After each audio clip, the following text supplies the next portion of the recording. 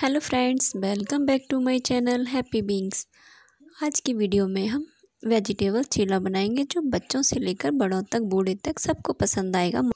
चीला बनाना शुरू करते हैं। इसके लिए मैंने यहाँ थोड़ी सी मटर और ये गाजर ले लिया है, टुकड़ों में कट करके मिक्सर जार में। और थोड़े से टमाटर, प्याज और हरी मिर्च थोड़ा सा अदरक। और ये थोड़ी सी मैं बेबी मेथी डाल रही हूँ इसमें और पालक भी डाल सकते हैं। आप अपनी मनपसंद की सब्ज़ियाँ ऐड कर सकते हैं।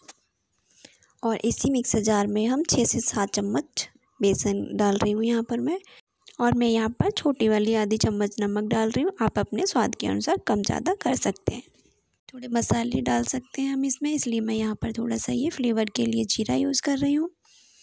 जीरा डालने के बाद थोड़ा सा धनिया पाउडर थोड़ी सी लाल मिर्च, आप अपने हिसाब से कम ज़्यादा कर सकते हो। मैं बच्चे के लिए बना रही हूँ तो थोड़ा सा कम रख रही हूँ।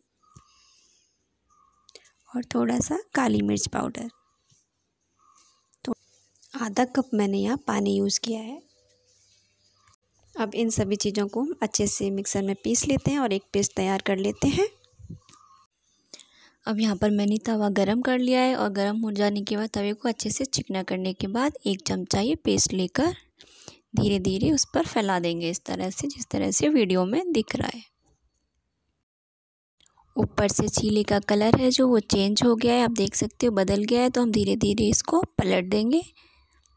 आराम से ये अच्छे से सीख चुका है, अब दूसरी तरफ़ से भी हम इसको सेक लेंगे।